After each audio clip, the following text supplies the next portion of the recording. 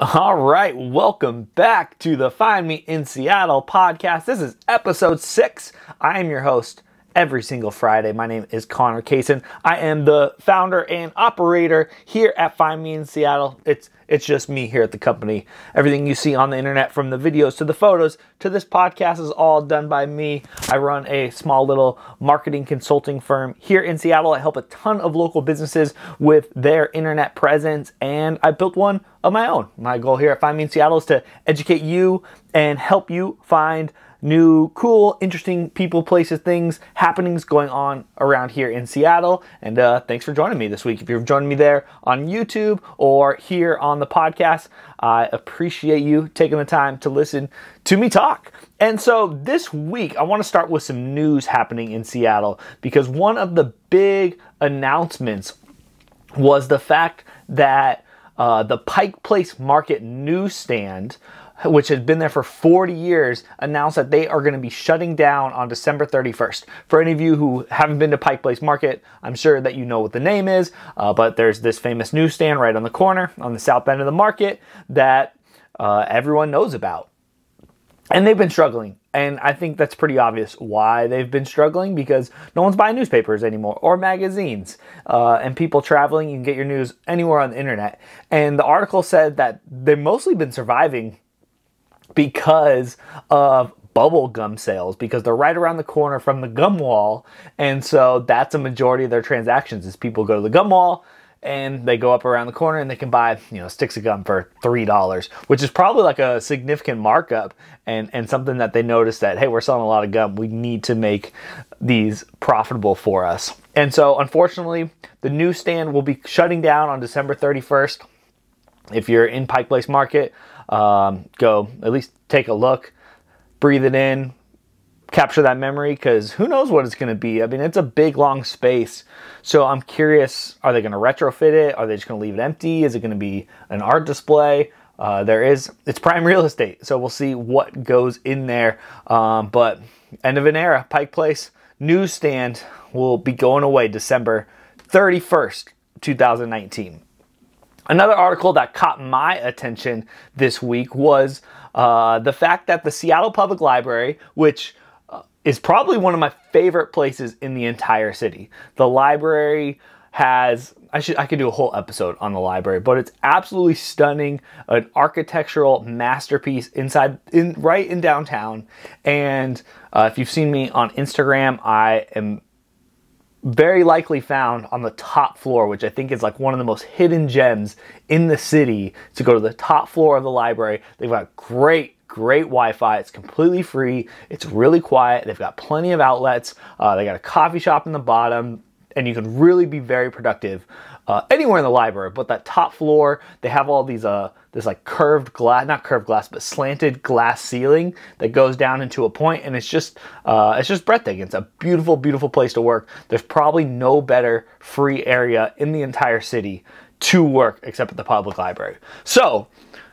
Back to the news. The Seattle Public Library decided that they're going to eliminate daily fines for overdue materials starting on January 2nd. Right? And I'm a little baffled by this. I know that in the article that I read that there's been a bunch of libraries already attempt this or they've rolled that out and they've seen a lot of success. And what their underlying principle and, and why they're doing this is because they are afraid that if you incur a late fee on a book, it deters you from returning to the library. Right? And so now, what's holding people to not keep the books? That's that's really where I'm stuck. Is if you're eliminating overdue fees for books and materials, I guess books are just it just sounds like books are free now. And um, yeah, I'm just a little confused. Like, how do you put pressure on people to return the things that they borrow? And and maybe I should have more faith in humanity and just understand that, like, all right, mo- and, and I do. I think most people are just going to return the book themselves, and this isn't an issue. Those people probably weren't even getting late fees, anyways. So it takes a little bit of that burden off. But I just feel like, uh, unfortunately, the library is a place uh, where the homeless like to gather, and and if they're the ones that are the issue, what's what's the pressure of them bringing the book back? I'm I'm worried of what's going to happen to these books, but I'm standing on my pedestal, which is kind of ridiculous. I don't really even care. I shouldn't care at least because I haven't checked out a book from the Seattle Public Library ever. I've checked out a lot of books, but I use this app called Overdrive, uh, which is uh, partnered with the library. And the library, when they get all their physical books inventory in every weekday, month, whatever it is, they also get digital copies. And so they release these digital copies through the app. I think there's a new app as well. And uh, you can kind of get in line, put them on hold, and it drops it right into the app right when it's available, which is just awesome. I recommend it to all of you guys. If you do have a library card, uh, check out the Overdrive app. They've also got audiobooks on there. And so, uh, and that's timed. I think you can request up to three weeks for the book, and then it pretty much automatically returns the book for you. The only hack that you, I've been able to get around for a couple days is if you turn off, if you have like a Kindle and you unplug the Wi-Fi or you turn off the Wi-Fi, uh, you can usually get it to last for like a couple more days uh, on your device. But obviously it doesn't sync up. It's not going to remember where you are. Um, so hopefully you can just read the book in three weeks. But I'm, I'm very curious to see what's going to happen with the books in the Seattle Public Library uh, and what's going to be the loss. How many books are going to be lost over the course of a year, uh, or damaged, or not returned, or just treated less because there really is no punishment? It's going to be very, very interesting. Um, and so, yeah, we'll see what happens.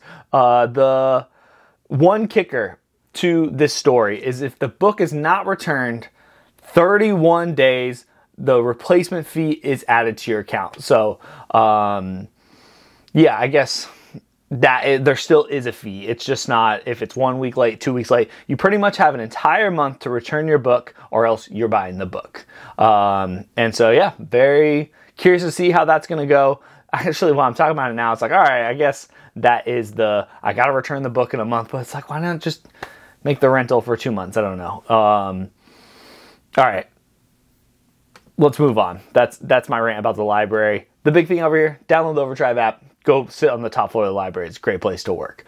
Um, all right, so outside of Seattle, something I wanted to talk about that that got launched here, uh, not launched, but released by Google is Google this week unveiled their Google's year in search. So it's all the top things that are trending and what were the most searched items in each category.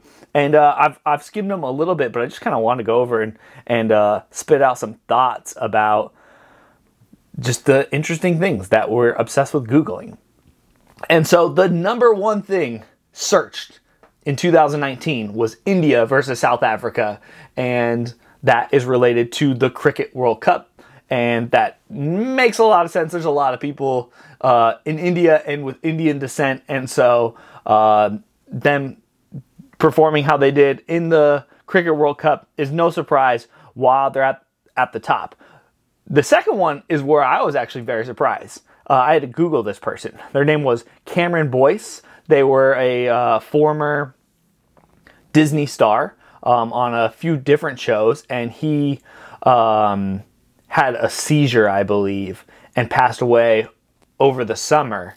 And he was all over these lists, and uh, it's it. I mean, it's pretty amazing, right? Um, he he must have made a really good impression. I'm sorry, I'm not super familiar with his work, but yeah, that was pretty much the one big. I was like, who is that? I am not familiar.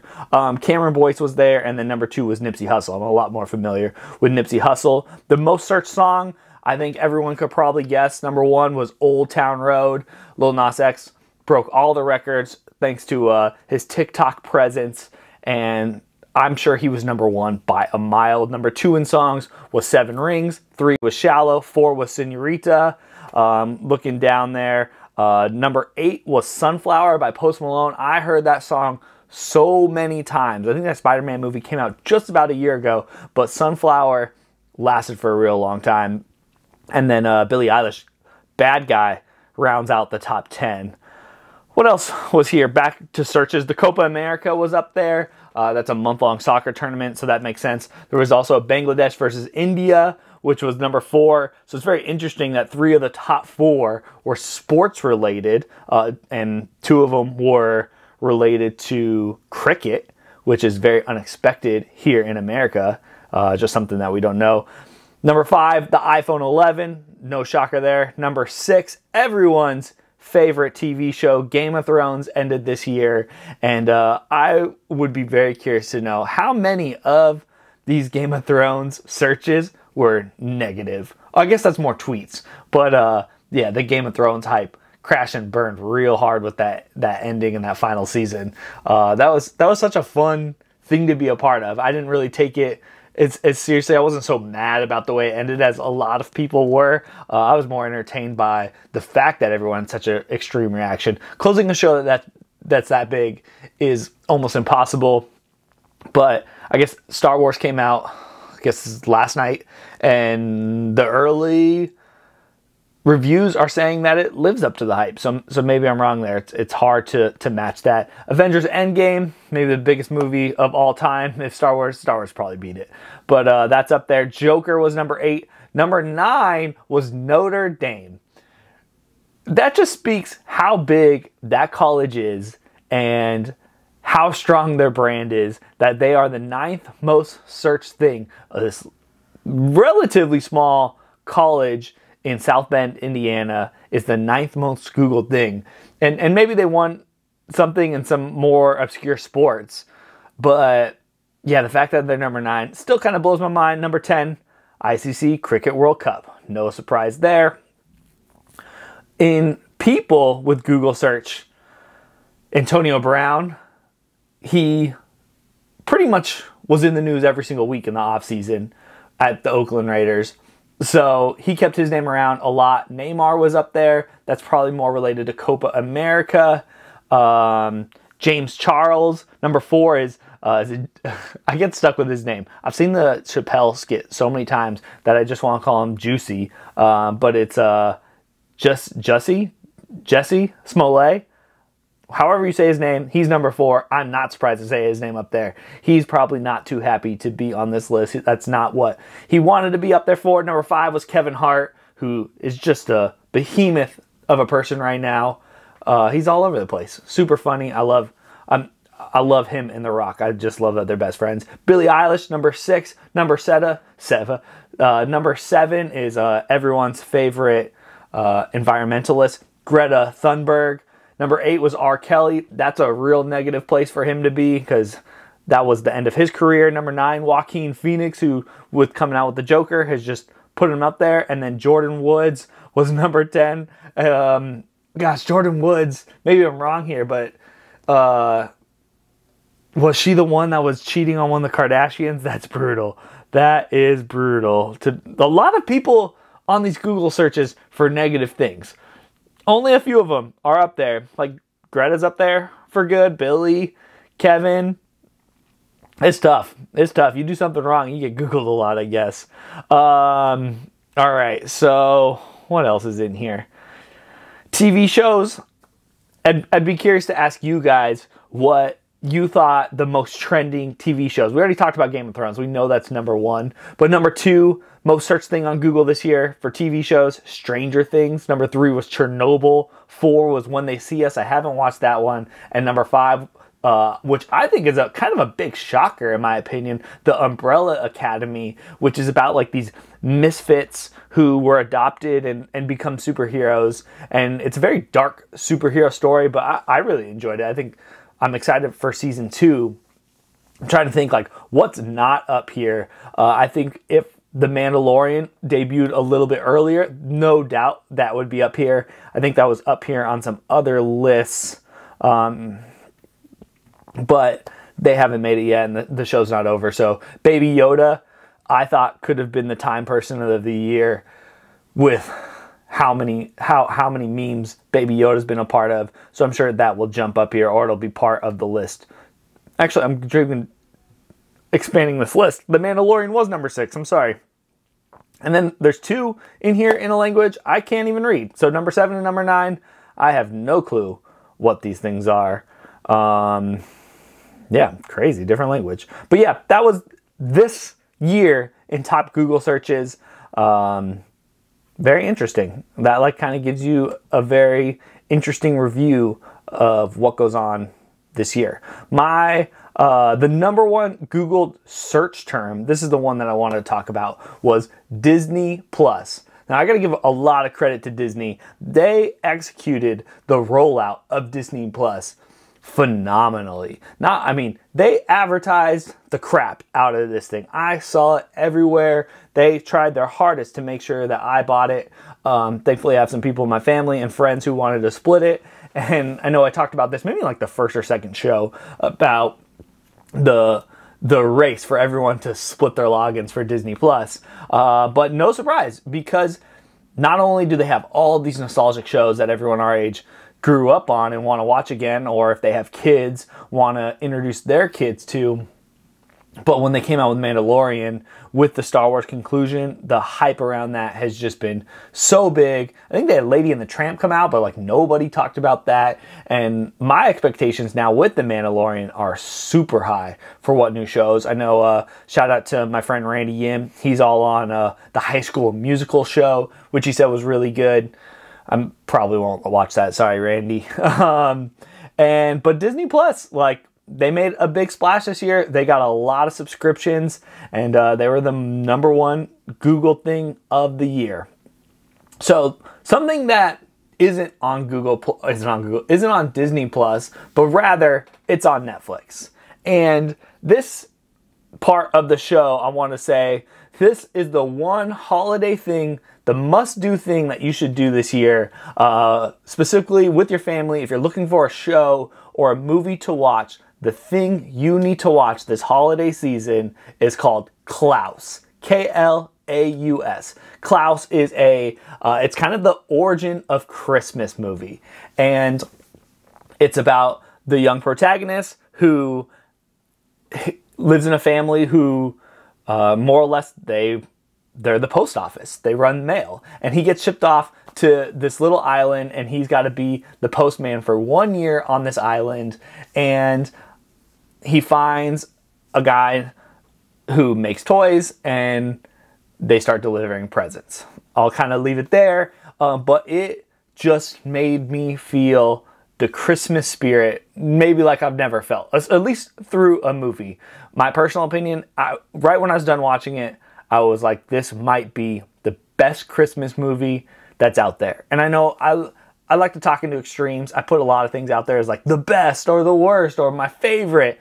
But uh, give Klaus a chance. I promise you won't be disappointed. Your family will love it. It'll fill you with the holiday spirit. Uh, it'll make you laugh. It'll make you cry. It'll make you super happy. It'll make you love the holidays. Um, you know, if you like holidays, I think those of you who don't like the holidays probably aren't going to change your minds. But my holiday must do go watch Klaus on Netflix right now or if you got some time with your weekend, Christmas Eve might be the best time to go watch this show, and uh, I promise you're gonna like it. Alrighty, let me take a sip here. All right, the feedback was good on these two things, so I'm keeping it going. This week's let me let me step back here. I still got to figure out how I'm going to enter this. But my meal of the week we're going to start off here. The meal of the week comes from a restaurant out in Issaquah. I know I made like the 30 minute drive out to Issaquah to hang out with another friend, and they took us to a place called the Black Duck. And when I'm driving to Issaquah, I'm like, the Black Duck? What kind of place is this going to be? Well, let me tell you, it's a pub. It's not a brewery, but they they call it cask and bottle. So they're very beer focused, uh, very duck focused, as the name would tell you. And so in this meal, here's how we started. First, we get the duck gravy poutine, right, which was smoldering hot. The French fries were on fire. It like melted my mouth when they came out. It's in a cask skillet. Poutine all over the place. Absolutely phenomenal start make sure you get the poutine when you go to the Black Duck. Next thing that came out was Black Duck Drummies. These are just grilled duck legs. There was two of them, okonomi sauce and chives. Very simple. It was a duck. It was like a small little duck drumstick, but uh, just melted off the bone, right? We took a fork, peeled it off because we were sharing it between a, a few people, and I was shocked at how easy it peeled off the bone. Delicious part. Uh, great start to uh, the duck. The next thing we got there was their signature black duck pie, which uh, cost $18 on, on this pizza. It's got duck, arugula, okonomi sauce, goat cheese, aioli, and pistachio.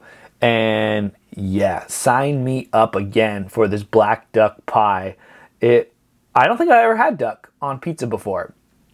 I I had very interesting expectations walking in here because I'm just like, what? Like duck? What's what's it gonna be? But this place blew it out of the water. The black duck pie was super delicious. And the final thing that we got there was the burger because when we asked the server, it was like, well, what does everyone get? What would you get? And they said the burger is what everyone gets. And usually I'm a little skeptical when places are like the burger's the thing to get. But this burger was like a everyone who knows me knows that I love In and Out. It was like a very elevated uh, prime beef, oven dried tomatoes, rosemary mayo, cheddar, and a tomato jam. Burger is $15. It comes with fries, tots, or greens, but the tots are what I would recommend you get this in the meal of the week because they weren't crunchy like normal tots. They kind of like melted in your mouth, but I really like that. It was it was something different. I do love crunchy tots, but the soft ones were still really good. Complemented the burger really well. The burger just was perfectly cooked with the tomato and mayo and tomato jam. It was just mm, mm, so good, so good. So that from the Black Duck in Issaquah, shout out. That's my meal of the week. And uh, yeah, if you're looking for food recommendations and you're over there on the east side, go to Black Duck. It was super good. All right. The next segment of the show is my featured business of the week. And so I've been talking about this part of the show and really what I want it to be. And some weeks it's going to be a business, some weeks it's going to be a person, some weeks it just might be like some ridiculous thing that I have to share. Uh, I got to figure out specifically what the name is, but right now we're going with the featured business of the week. And another East Side, this is a double East Side feature. And it's this place called Hui Lau Shan. And Hui Lau Shan is based out of Hong Kong. If you go to Hong Kong, you can see this spot. There's it's more prevalent than McDonald's or Starbucks. It's on every corner around around Hong Kong. And what they specialize in mango dessert. Everything mango that you could possibly want is here. And I went there last weekend and uh, yeah, it was fantastic dessert. Uh, I didn't feel that like sugary overload that you get from a lot of ice creams or chocolate cakes or a lot of other dessert spots because it was all fresh fruit. They get 200 plus cases of mangoes a week to prepare all these. And, and the big thing that's really popular, their signature dish is called the mango chewy ball. And it's uh, this large bowl of mango. And here's what's in it. It's pureed mango, gets topped with a scoop of mango ice cream, and then they finish it off with chewy tapioca balls. So it's kind of like a mango boba, but more of like an ice cream style. And it was just super delicious. We also had this mango sampler that had a mango mochi ball that usually mochi is like really frozen. This was really squishy and it just melted in my mouth. If you want to see that, uh, check it out on my most recent TikTok post. You'll see it there. Um, but Hui Lau Shan, you're looking for a fruit-based dessert spot. They are my featured business of the week. They're out in Bel Red, uh, right next to Microsoft headquarters. And I thought it was absolutely delicious. If you're out there, and maybe you hit the Black Duck, and then you go to Hui Lau Shan for dessert. It's definitely a spot that I probably wouldn't normally went to, and that's why I wanted to share it. But I got invited to go there. Didn't know